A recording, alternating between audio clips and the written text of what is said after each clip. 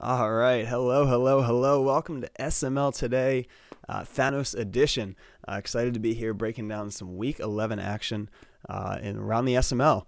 So, uh, so we're going to start off with some bad news, unfortunately. Uh, evil has triumphed over good in the NFC South.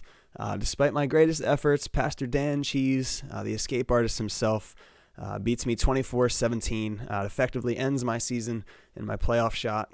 Um, so somebody in the NFC is going to need to step up. Uh, otherwise, Dan is about to roll his way into another uh, another Simbardi appearance. RD unable to play his game against Q. Um, unfortunately, neither was his AI. AI put up zero fight against Q. Uh, he absolutely bullied the Steelers uh, to the tune of 31 to three, uh, with four Lamar passing touchdowns, and he continues his uh, his stellar season. Prime showed a little bit of mercy playing against ZZ. he only won by 20 points. Uh, granted, that might seem like a lot, um, but the Colts defense had five sacks and four picks in this game. Uh, although, to be fair, those are probably below average numbers uh, for ZZ on a per game basis. Uh, strangest game of the week had to go to Death Wish and, uh, and Terrible Two Step. This one looked like it was absolutely over in the first half. Uh, DW got out to a, a massive early lead, then got held off the scoreboard for the second half.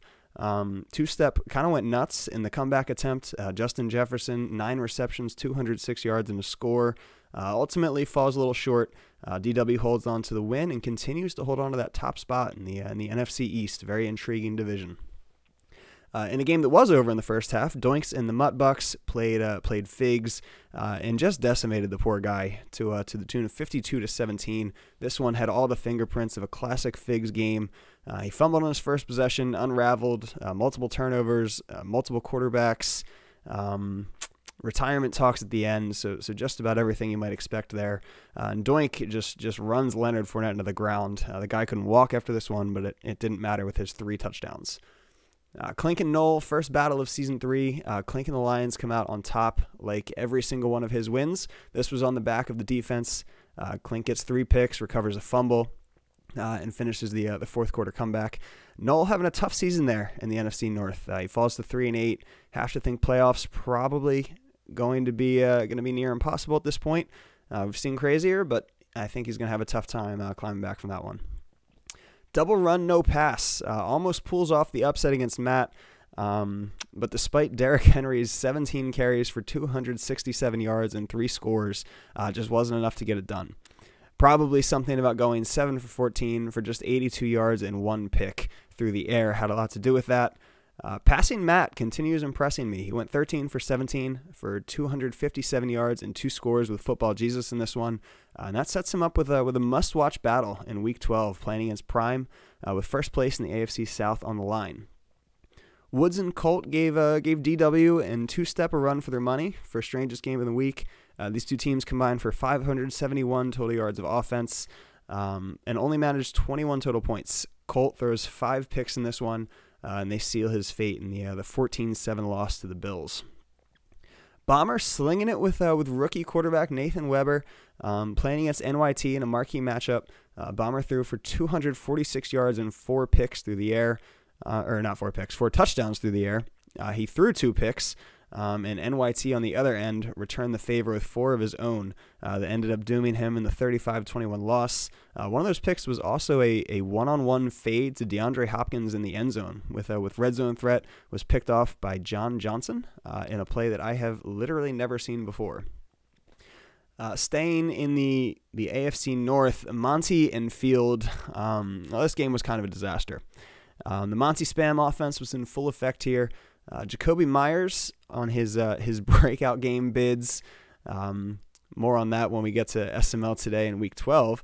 But uh, Meyers gets half of his team's catches with uh, with five, uh, about half their yards with 134, uh, and two touchdowns. The only ones through the air. But the real story was Joe Mixon. Uh, Monty gave Mixon 15 carries, and uh, this is not a made up stat. he gets 320 yards on the ground and three touchdowns. And then, of course, in typical Monty fashion, he also kept field around with his uh, his usual style or brand of defense. Uh, he gives up 444 passing yards to Tom Brady uh, and 541 total yards of offense. Unfortunately for Field, three picks doom him in this one. Uh, Grams and Spooky played a quality game of hot potato, just tossing the ball back and forth to each other. Nine total interceptions between the two teams. Uh, game comes down to the wire. uh, but it was Grams who comes out with a close victory, 31-30, as he attempts to keep pace in the uh, the super competitive NFC East this season. Gouda starts off his SML career off strong, uh, but he falls short against Paulie in a 35-34 loss. Uh, Saquon was pretty much unstoppable in this one, uh, rushing for 181 yards and four scores on the ground. Um, I also learned that Gouda pronounces his name Gutta, and I'm just refusing to acknowledge that I've ever learned that information. He will be Gouda forever to me. Uh, D-Muse plays Meats uh, and wins that game 34 26. Uh, and D-Muse described it as, and I quote, never close. Uh, Meats objected, um, but it is somewhat hard to argue with that with 16 garbage time points in the, in the fourth quarter to make the score more respectable. Uh, hopefully, it's the start of maybe a, maybe a new rivalry in the SML. Um, somehow, it does always seem to be Meats on the other end of these things. So that might be something to look into. Playoff Mike falling on hard times this season. Uh, he gives Coop and the Chiefs their first win on the year. Uh, the Super Weenie Hut Junior Division continues being must-watch TV for all the wrong reasons. Uh, no division enjoys shooting themselves in the foot quite like the AFC East. Um, Mike forced five picks from Pat Mahomes, and it somehow wasn't enough. Mike threw four of his own and uh, and finished the game with a 43.6 passer rating. So definitely one to forget for the uh, for the Dolphins. Uh, last and certainly least, Dump played the AI Jets while KJ lives his best life on his cruise. Uh, it wasn't pretty. Dump does get the win, uh, 24-14, as he continues trying to chase DW in the NFC East. Um, luckily for Dump though, Fins is not on his schedule, so uh, so the remaining road doesn't look too bad. It'll be a it'll be a good race for the end of this uh, end of this division. Um, quick look at Week 12. We got a couple uh, couple must watch games here. Uh, two of which are in the NFC East. So Paulie and DW will play. Um, we've got the the football team and DW playing some stellar defense in an eight and two. Uh, Paulie just one spot behind at seven and three. Uh, and then the other NFC East game uh, is Dump and Grams. Uh, both teams at six and four, looking to keep pace. Uh, so you know, must-watch games there to see what happens in this uh, maybe the most competitive division in the NFC or not the NFC, the SML right now. So definitely going to be uh, going to be checking game times channel as we wait for uh, for times on those, uh, unless they're posted already and I missed them. Finally, though, of course, the game of the week, and I have to talk about this one uh, tonight at 7:30. We got the the AFC South battle, Prime and Matt, the SML's friendliest quote unquote rivalry, depending on how you see that. Um, and again, battle for the top of their division. Prime comes in with his Colts at nine and two. Uh, Matt just a game back at, at seven and three. Uh, playing for the first time this season, so you know winner is gonna have uh, gonna have kind of a leg up on the rest of the year um, in capturing that uh, that division crown.